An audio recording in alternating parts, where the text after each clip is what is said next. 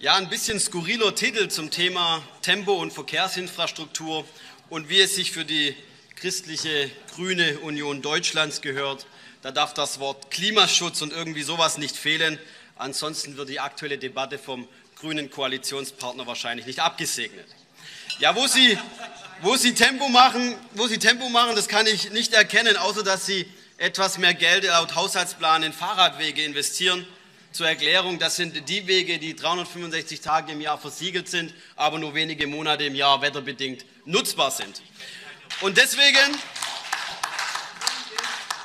und deswegen haben ja auch Fahrradwege keine Kosten-Nutzen-Rechnung oder es gibt da keine, keinen Faktor. Der wird irgendwo, wenn man ihn ausrechnen würde, wahrscheinlich bei 0 oder 0,0 sein, also keinen Effekt auf irgendetwas. Es ist ja ganz nett, das ein oder andere Dorf mit einem Fahrradweg zu verbinden. Wir von der AfD-Fraktion, wir sind keine Gegner von Fahrradwege, damit die Familie sonntags einen netten Ausflug machen kann. Das ist ja ganz nett, aber einen positiven Effekt auf Wirtschaft, aufs Verkehrsaufkommen, auf die Effizienz hat es eben nicht. Aber in Fahrradwege, da wird mehr Geld investiert als im vorangegangenen Jahr und für den Erhalt des Straßenausbaus bleibt das Budget gleich in 2023 und 2024. Wenn man die Inflation berücksichtigt, 10 Prozent sogar effektiv weniger. Das heißt, im steigenden Verkehrsaufkommen und die immer höhere Anzahl an Fahrzeugen 2022 wurden wieder mehr Fahrzeuge zugelassen als 2021, wird also auf unseren Straßen nicht Rechnung getragen. Und in der Zeit, in der Verkehrsminister Hermann einen Fahrradweg plant und baut, bauen die Chinesen drei weitere Autobahnringe um Peking herum. Und das Thema Klimaschutz, und das ist jetzt der Punkt, die nächste Blendgranate, die Sie werfen. Klimaschutz kann man mittlerweile folgendermaßen übersetzen. Deindustrialisierung, Arbeitsplatzabbau, Wohlstandsvernichtung und dementsprechende Schieflage unserer sozialen Struktur und dadurch wieder keine Finanzierung oder schwierige Finanzierung unseres Sozialsystems möglich obwohl wir natürlich das Sozialsystem dringend benötigen. Sie laden ja die halbe Welt dazu ein, davon zu profitieren. Also egal auch, was wir hier in Deutschland tun und wenn wir morgen in Höhlen leben und den Traum der Grünen leben, hat das keinerlei Effekt auf das Klima in der Welt. Und Und wer mit Beschlüssen, liebe CDU, dafür sorgt, dass das Kernkraftwerk Neckar-Westheim, wir haben es gestern gehört und eine aktuelle Debatte dazu gehabt, abgeschaltet wird, welches 24 Stunden sieben CO2-neutralen Strom erzeugt und gleichzeitig aber Kohlemeiler ans Netz bringen, mit Kohle aus Südafrika damit Strom erzeugen, der sollte das Wort Klimaschutz nicht mehr in den Mund nehmen.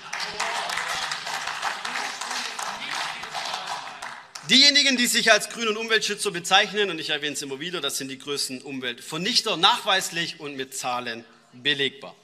Würde man Neckar-Westheim 1 oder Neckar-Westheim weiterlaufen lassen, könnten wir unsere Verbrennerfahrzeuge bis ins Jahr 2100 noch weiterfahren und unsere CO2-Bilanz wäre immer noch besser als jetzt.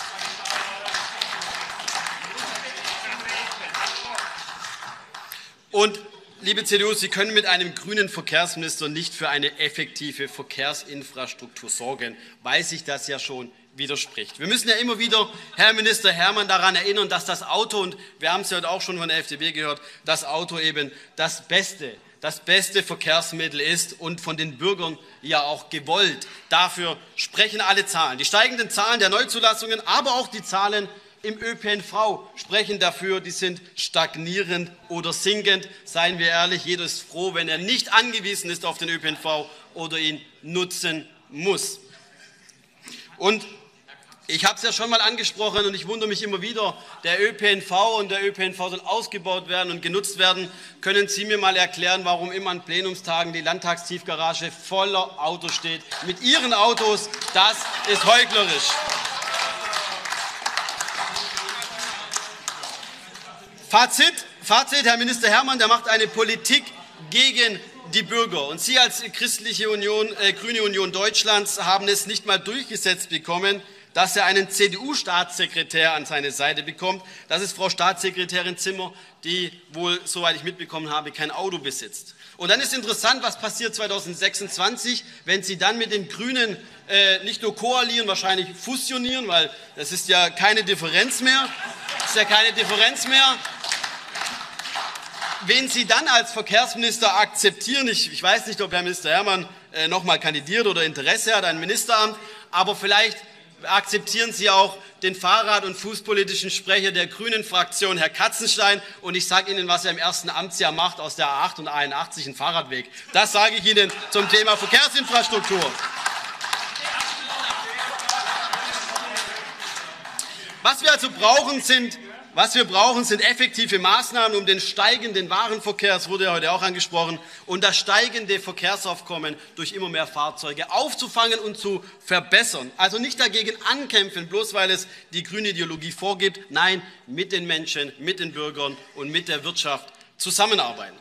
Zum Beispiel Digitalisierung im Straßenverkehr, zum Beispiel bei den Ampelschaltungen. Es kann doch nicht wahr sein, dass Autofahrer im Jahr 2023 an einer Kreuzung alleine vor einer roten Ampel stehen.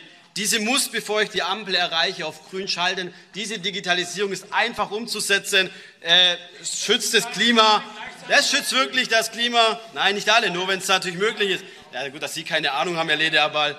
Herr Ledeabal, es tut mir echt leid, aber wie immer halt völliger Quatsch aus Ihrem Mund. Maske. Herr also. Kollege Klaus, ich darf Sie einfach daran erinnern, dass Sie auch hier im Parlament eine dem Parlament angemessene Sprache und Wortwahl Hä? verwenden. Jetzt gehen wir. Ja. Was soll das? Ja, gut. Man könnte auch mal untersuchen, wo man Ampeln abbauen könnte und zum Beispiel durch Kreisverkehre ersetzen könnte. Das machen viele Kommunen. Viele Ampeln sind ja nur dazu da, um Staus zu produzieren. Vielleicht kennen Sie das Beispiel aus Böblingen vor vielen Jahren. Feierabendverkehr, die Stadt war komplett zu, die, es ging nichts mehr voran. Und ein Stromausfall bei den Ampeln hat dann dafür gesorgt, dass Böblingen innerhalb von Minuten staufrei war. Es war ein großer Bericht auch in der Zeitung und alle wunderten sich. Es hat auch da gezählt, wie im richtigen Leben, rechts vor links ist halt doch die bessere Wahl. Aber bis heute hat man daraus leider keine Ergebnisse gezogen oder gehandelt. Transportkapazitäten ausbauen auf den Straßen das heißt, zulassen von allen Lang-Lkw-Typen, diesen AfD-Antrag, der auch hier bald ins Plenum kommt, und dort die Strecke freigeben, wo es technisch möglich ist, und zwar für alle Lang-Lkw-Typen und alle Strecken freigeben, wo es möglich ist, und nicht immer nur häppchenweise mit unzähligen Verordnungen. Und effektive Verbindungen, das steht ja auch im Titel der aktuellen Debatte, da fällt mir der Vertrag von Lugano ein, ein Vertrag von 1996, der den Ausbau der Schienenverbindung Karlsruhe-Basel ermöglichen soll. Er wurde ja auch gerade eben angesprochen.